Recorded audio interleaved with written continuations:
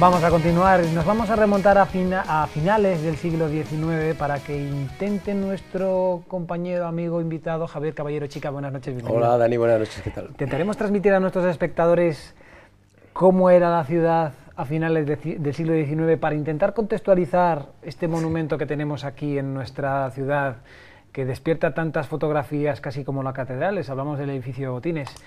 Eh, tiene su historia, de eso vamos a hablar ahora, pero sí es verdad que mm, podemos empezar por, por, esa contextualización de la ciudad. Eh, estamos hablando de, bueno, la finalidad es hablar de, botines, hablar un poco de, porque este año se celebra precisamente el, 100 aniversario de la muerte de Mariano Andrés, una avenida que seguramente pasamos todos por ahí, en muchas ocasiones no sabemos muy bien el origen de, de ese nombre. Bueno, pues Mariano Andrés fue uno de los promotores que realizó eh, Gaudí, que realizó la Casa de Botines de Gaudí en 1886 y ese es un poco el motivo que nos ha reunido aquí para, poder hablar de, la Casa de Botines de Gaudí.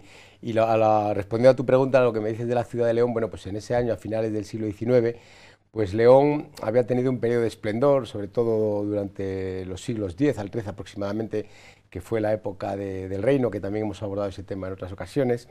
Y a partir del siglo XIII, pues en cierta medida León languidece un poco, entra un poco en crisis, eh, está un poco deprimido, digamos, y poco a poco eh, va entrando en esa, en, esa pequeña, en esa pequeña crisis desde el punto de vista económico, social y sobre todo también desde el punto de vista demográfico. ¿no?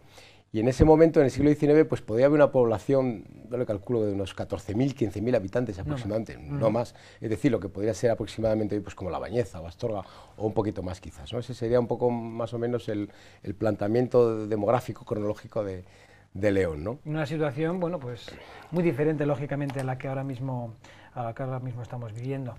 Eh, ¿Qué era lo que había justo antes de que se construyera el edificio de Botines? Esa es una pregunta muy, muy interesante. Pues eh, delante de, bueno, lo que era la Plaza de San Marcelo, delante no había prácticamente nada, estaba la Plaza de San Marcelo, tal y como la conocemos más o menos actualmente, bueno, con ciertas remodelaciones posteriores, pero desde el punto de vista sobre todo del suelo, y estaba el Palacio de los Guzmanes, eh, lo que es la Diputación actual. Y justo enfrente no había nada, había un solar que era eh, tremendamente atractivo para alguien que quisiese construir algo con cierta envergadura y con una proyección sobre todo económica. ¿no?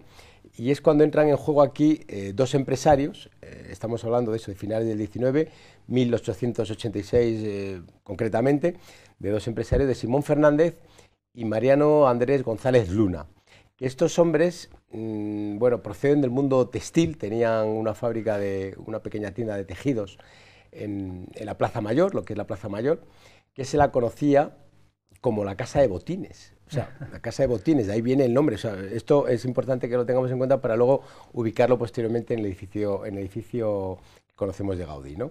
Entonces, ese es el solar que ellos compran al conde de Ucedo, al conde de Uceda, perdón, que estaba en Madrid, y se lo compran por eh, la cantidad de 17.000 pesetas. pesetas y, aproximadamente el, solar medía unos 2.500 metros cuadrados, es decir, una proporción pues, muy consistente, muy fuerte. Y bueno, más o menos esa era la, situación. ¿no?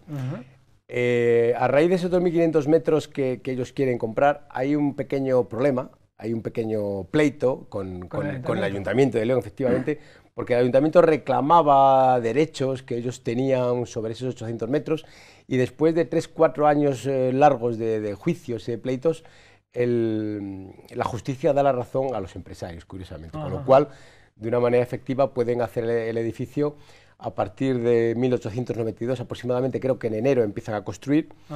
Y con tan solo, que esto yo creo que es un dato sorprendente, que en muchas ocasiones dicen, pero ¿cómo se pudo hacer tan rápido?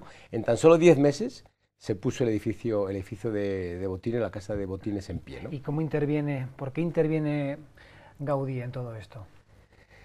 Pues eh, interesante reflexión también. Eh, Gaudí eh, era uno de los arquitectos del momento emergentes, uno, de los, arquitectos que tenía cierta efervescencia dentro de, los arquitectos del momento, y estaba, había había estado trabajando, digo estaba porque en cierta medida había ido a Astorga a hacer el Palacio Episcopal de Astorga, pero bueno, tuvo muchos problemas en Astorga, hemos hablado también de esto en otras ocasiones, y, el contacto sobre todo era el obispo Juan Bautista Grau.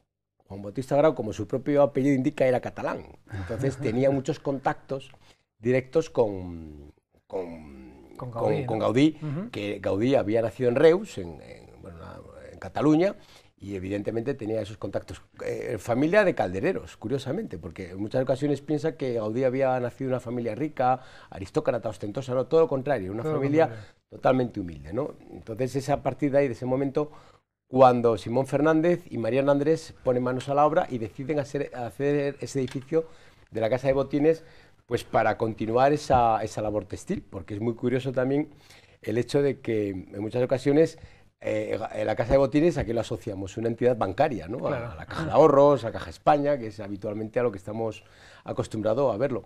Pero en origen era una industria textil. De hecho, cuando, cuando se contrata la obra, la idea, la idea final, inicial y final, era en la planta, en la planta sótano, cuando vamos a las exposiciones, en la planta sótano y en la, en la planta bajo, la, la primera planta, digamos la planta noble, estaba destinada para la industria y para comercio y las otras, las otras plantas eh, sucesivas, las plantas superiores, eh, estaban destinadas para viviendas, para alquilar. O sea, para alquilar normalmente. Bueno, eh, ellos habían guardado una planta para ellos, para, para, para Simón y, y, para Mariano Andrés, pero el resto era, creo que salían unas 16 viviendas aproximadamente que se podrían, que se podrían explotar. Que de hecho la organización interna sigue mostrando todo eso entra ya la venta a la caja de ahorros ya a, principios, mediados del siglo XX, ¿no?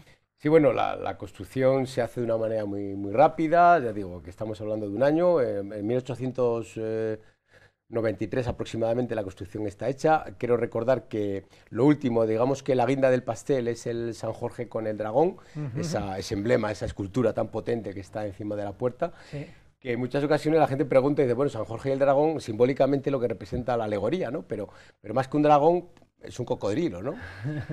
que, y es verdad, porque aparentemente es un cocodrilo. Y tiene una, una, una doble significación ese, ese, elemento, puesto que en la parte baja de esta escultura apareció un, un tubo, con, bueno, un tubo lleno de, de los planos y de estas y de quién había hecho la construcción, de quién había intervenido en las labores de, de cantería, de forja con los datos del momento como modo como una especie de misterio escondido allí en un tubo de plomo y es por eso que tenemos tantos datos sobre el edificio. Incluso los planos del edificio aparecieron allí.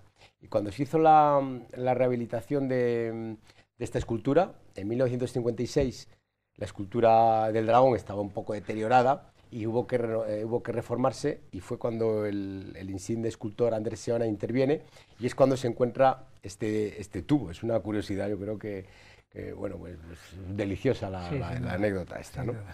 Podríamos estar hablando de la, del edificio muchísimo tiempo, ya sabes Javier, y además tú lo conoces perfectamente, que el tiempo solo.